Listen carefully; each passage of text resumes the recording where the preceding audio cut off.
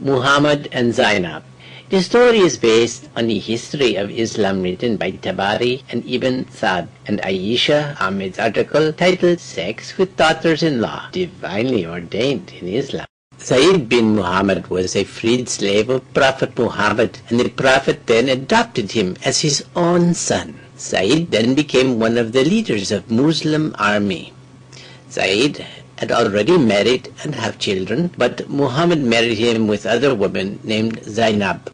One day, Muhammad came to Zaid's house and looking for him. Zaid, where are you? Zaid was not at home at the time, and Muhammad found Zainab still on her bed. Oh, Rasulullah, Zaid was not at home right now. Zainab jumped up quickly and excited the admiration of Allah's messenger. Glory be to Allah Almighty who causes hearts to turn. Then Muhammad left the house. Zainab was wondering what did Muhammad mean by his saying. When Zayd came home, Zainab told him what happened. They realized that Muhammad was sexually attracted to Zainab because Zayd loved his adopted father. He was willing to offer his wife to Muhammad. So Zayd came to the Prophet's house. Rasulullah, you are just like my own dad. If you are interested in Zainab, then I will divorce her so that you can marry her. No need to do that. Keep thy wife to thyself and fear Allah. I will not touch Zainab again for your sake, Rasulullah.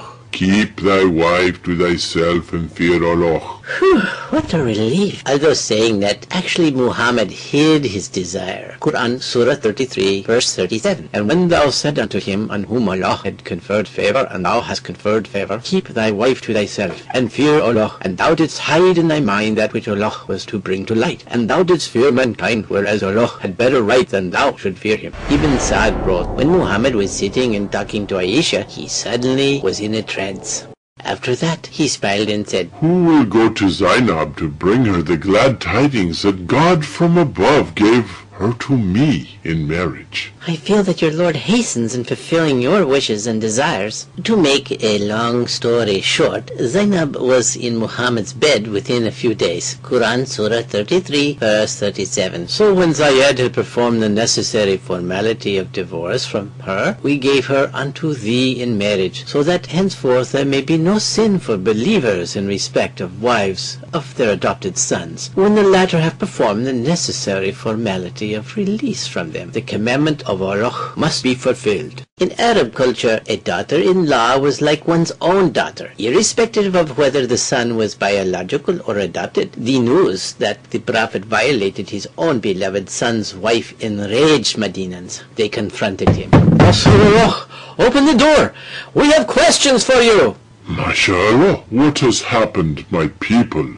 O Prophet of Allah, how could you? Of all the people in a pastoral of God, carrying out a disgusting and despicable act of sleeping with your own daughter-in-law? Your harem is bursting at the seams with young and beautiful wives. On top of that, you regularly take 20% cut from the crop of infidel captured women as your share of booty. Rasulullah, your act is an incest which puts the time-honored noble Arab tradition of adoption to shame. To me, the only noble and honorable act is to follow Allah's orders. And Allah was the one who ordered me to acquire Zainab. Here is the ayah, Surah 33, verse 37. We gave her, Zayd's wife, in marriage to thee, so that there should not be any fault in believers touching wives of their adopted sons. But how come you marry more than four wives?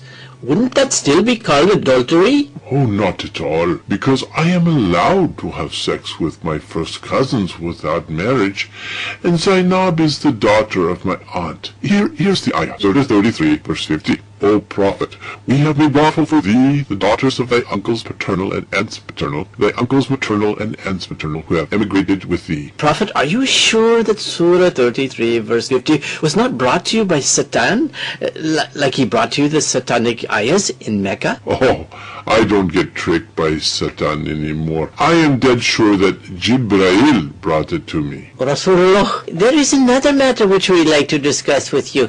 We are told that you have been sleeping with Muslims after you sent us on jihad to far places. Is that true? Oh, yes, it is. Believing women offer themselves to me in the hope of salvation and special favors from Allah in the hereafter, and Allah has allowed me to fulfill the request by Surah 33, Ayah 50. And also allowed is any woman believer if she gives herself to the Prophet and if the Prophet desires her to have sex.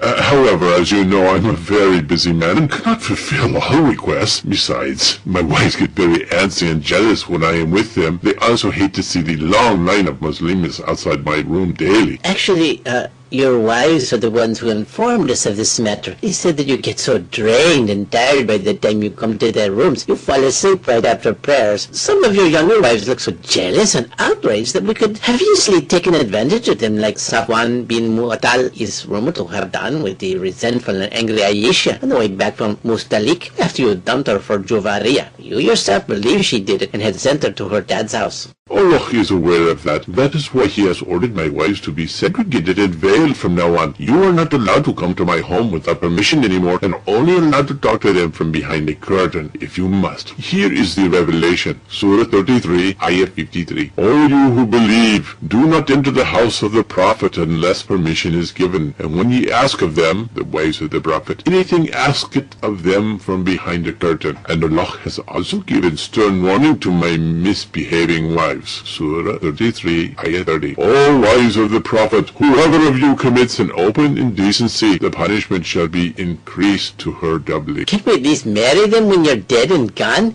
Because poor girls look so young and unfulfilled while you're old and ready to kick the bucket. No way. Nobody should touch them even after I'm gone. Wh- why not? You do it. Because Allah said so. Surah 33 verse 53. And ye must not marry his wives after him This would be a grave offense to God. Oh, forget about your wives.